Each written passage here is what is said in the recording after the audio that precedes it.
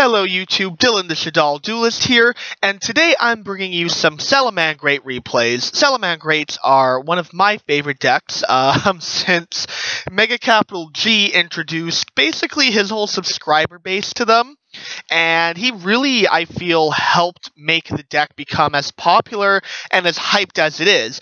Not to mention the fact that they're basically meta in the OCG, which, um, well, let's just say with Savage Strike coming out and the Soul Burner structure deck coming out both in February, uh, I have a feeling a lot of people are going to be playing Salamangreats, myself included. So we have three, um, three uh, uh, duels for you guys, and I, I'm telling you guys, it was uh, it was hard to get some of these uh, duels because of the fact that uh, you know a lot of people don't like playing Sal- against Salamangreats, and they just were rage quitting. So right here we have a um, a mirror match, and I just gotta swap that because there we go. I'm down at the bottom here, and uh, my opponent's at the top, and as you can see, it is a mirror match. So he starts off with the Lady Debug, and I get the Effect Veiler off because I know how important the first search really is. He does get Veilynx out, but he did seem to have uh, Sanctuary in his hand already, so he doesn't end off with a a, a really great board, just uh, Sunlight Wolf and Sanctuary. That kind of board isn't the best because you really have no disruption. He does have the ash in his hand, but other than that, it's not much. Of course, I didn't open up amazing either. The circle was great, but as you can see, he's uh, he's just going to ash that. So. Unfortunately, I don't end up too much better, but there is something because I do have Fowl, and um, what Fowl does is when a Salamangreat is normal or special summoned, you can special summon it from your hand. So it's good for extending plays and also for Bagooska plays as well. But I just go for my own Veilynx here, search out my uh, my Sanctuary. I go for the uh, double Sunlight Wolf. I get back my uh, Circle, and then I go into Transcode Talker. Now, Transcode Talker is great in Salamangreats if you play it correctly. Um, some of the Salamangreat effects make it so you can only special summon fire monsters. So if you work around that, uh, Talker is a great addition to the deck because it can bring back Sunlight Wolf, it can bring back Heatleo. Um, if you also run Update Jammer like I do, there's also an uh, OTK with that as well. So I end off at a pretty better board with uh, Circle and Lost Wind set with uh, Fowl back to my hand. So as you can see, I'm also going to set lo- second Lost Wind. Uh, he's going to activate Veilynx here to protect his Sunlight Wolf from the first attack, but it's just going to get taken out in the second attack. He does activate. Uh, he does summon Foxy and. Um, I do see the Super Poly here, so he's probably main decking Violet Chimera, which I don't do personally. I prefer to save that for um, either the uh, Mirror Match or against other Link heavy decks. So he does destroy my Lost Wind. I couldn't chain it because he is co-linked with Transcode Talker, so he is protected. But that's fine because I do get um, my own Foxy. And then what, what actually happens is uh, Fowl is great for chain blocking. Uh, same with Gazelle, really, and that's why you almost always want Gazelle in your hand uh, with Foxy, is because uh, you can special summon Gazelle either when you summon Veilynx or uh, in terms of Fowl for Foxy, because uh, it also triggers off normal summoning.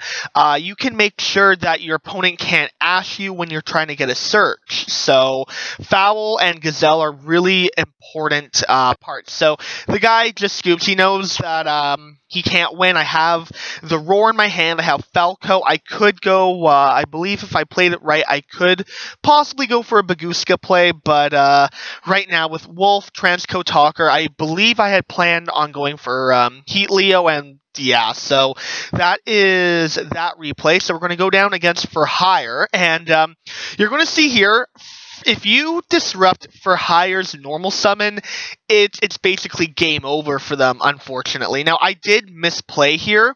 Um, I did chain circle last when I should have, and I'm, not sure if Fowl. I could have chained Fowl or not, uh, but I did chain circle last, so he was able to disrupt the circle, which is okay because I still got Foxy's uh, search off, so it's not the worst. So um, so yeah, so I, I will at least get uh, one search off. Unfortunately, I I I, I mill two more foxies and another circle so that's not the greatest. So i just i go for the standard uh, double sunlight wolf with circle and roar uh, banner, uh, sorry, face down. So I do have some disruption, and as you can see, Circle does come in clutch for the protection. I and I do have uh, that. So he does uh, try to get his for hires effect up. I'm like, nope, I know for hires. If you interrupt their normal summon, it's basically game over. And then this caught me off guard. This made me really glad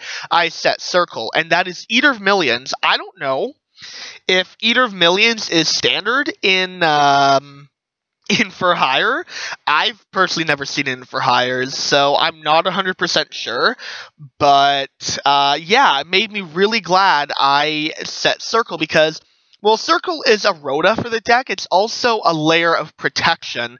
Uh, should you set it back down through an effect, uh, basically it makes it so that your Salamangreat Link monsters that were uh, reincarnation linked are unaffected by other card effects. So instead of Eater of Millions banishing it, it just uh, it gets destroyed and he takes damage and I get to my phase, and yeah, I mean, I have I have Lady Debug and Gazelle in hand. I search out Mir. Mir special summons itself. I get Sunlight Wolf um, to uh, bring back Fowl. He does destroy it, but I do use my Veilynx, and as you can see, I'm just popping off. Uh, I get Update Jammer, which is what I was talking about before. So basically, how the OTK works is you summon Update Jammer, and then you use Update Jammer uh, to link up into Transcode Talker. So what Update Jammer does, it will allow Transcode Talker to attack twice per turn. And then Transcode Talker can revive Update Jammer back, and since they'll be co-linked, uh, Transcode Talker will buff them all up. And as you can see, he's already um, co-linked with Sunlight Wolf. So the ending board is going to be pretty devastating. And again, he just knows I'm, I'm going to OTK him.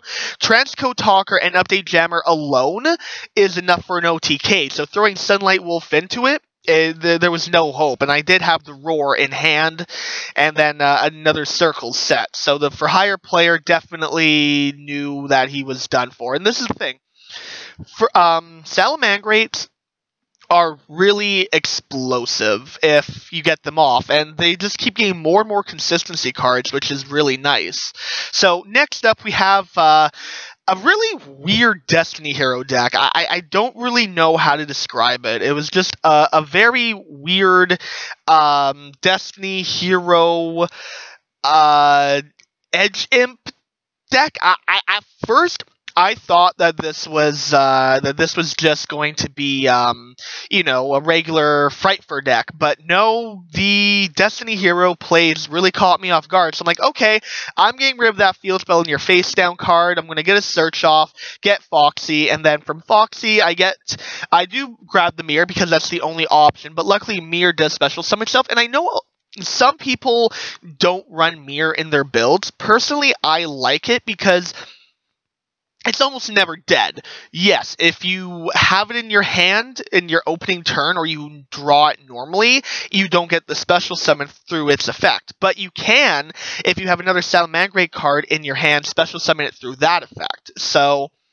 personally, I feel Mir's almost never dead, and it, it, it's a it's a combo extender. Because as you can see, I use it. I go into Sunlight Wolf normal. I summon Spinny. Use Sunlight Wolf to add Foxy back to my hand. Go for Transcode Talker, and then use Transcode Talker to bring Sunlight Wolf back out. Because I know Transcode Talker is going to buff itself and Sunlight Wolf up to the point where we can get over um, Dangerous. So unfortunately, he does get the uh, Destiny Hero Dreamer engraved, so I can't destroy.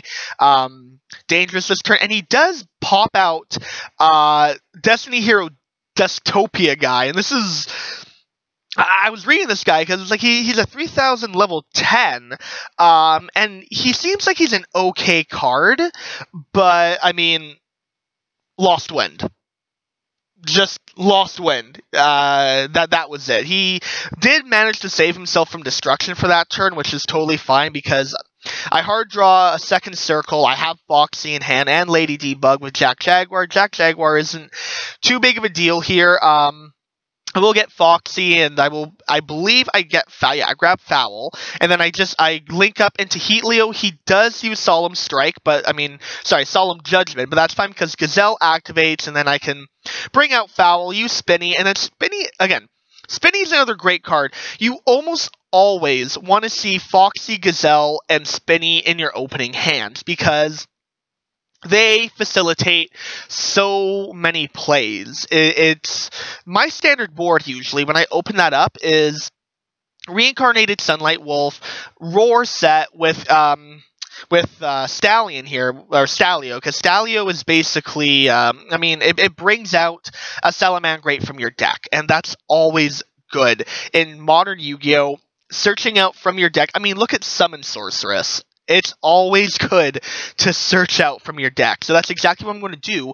And what's great is with, when Spinny is Xyz material, it bypasses having to be banished when it's revived from its effect because technically it didn't leave the field. So recycling Spinny that you can always use it again next turn is great. And then I am going to go into another Heatleo since it was uh, this, my first one was destroyed. Stallio's effect activates to bounce his fusion monster and again the guy just knew there was no hope. I had a 3300 Transcode Talker and a 2800 Heatleo on the field. There was no way this guy. I mean, he had plasma and polymerization in his hand. There's no way this guy was going to survive this turn, and well, he, he would have survived. Um, don't get me wrong, because he had the draw guy on, he he would have survived, but he would have had the top deck. I mean, the Vion. I don't know. Depending on what else he was running, the Vion maybe may have saved him. I don't know. All I know is that that is what happened. So those are what I have for you guys today. Um, if you enjoyed Salamangreats and you want to see more of them, do let me know. Salamangreats are one of the main decks I'm running right now, along with Orcust. And um, I'm definitely going to be bringing some Orcust uh, duels because I am in love with Orcust. The new support absolutely breaks them, and I do believe, honestly, Orcust may be meta. Salamangreat and Orcust are uh, are definitely definitely meta contenders, especially when they hit the TCG. Salamangreats are incredibly explosive, and I mean, by the time the Orca support reaches TCG, who knows? We, we would have had a couple of ban lists by then, more than likely. I know we have one coming up, so we shall see. But again, if you guys want to see more Salamangreat duels, uh, Orcust duels, or if you have a deck that you want to suggest to me, make sure to leave the uh, suggestion in the comments down below. And if you have any cards you would like me to review as well, leave those as well down in the comments.